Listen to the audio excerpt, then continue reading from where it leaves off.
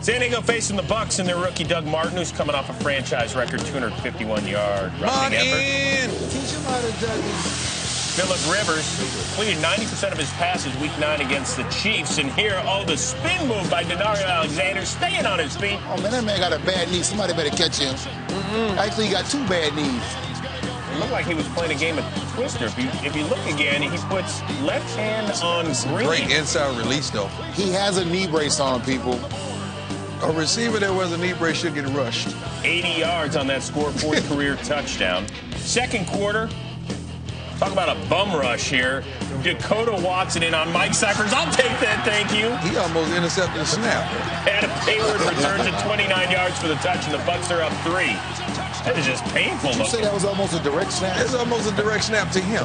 Ensuing Chargers Oh, Mike, possession. I don't blame the kicker for being down there like that. That that that was ridiculous. You've got Philip Rivers to Malcolm Floyd for six, and then we'll tack on two more with the dunk.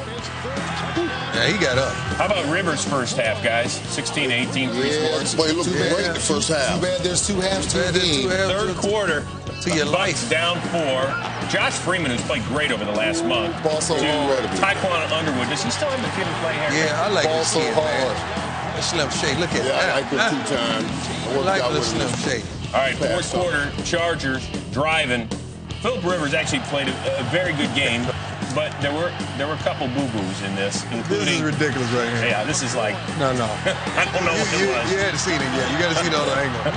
This Big is fella's got to make this Johnson. tackle. He got to make this Undrafted tackle. rookie ah. out of Iowa State. He stays ah. in. I Remember- remember that. He going to prime time. Every turnover and scores review. This is the angle right here. Just like you didn't see that man. Philip Rivers. Oh, you didn't see that man?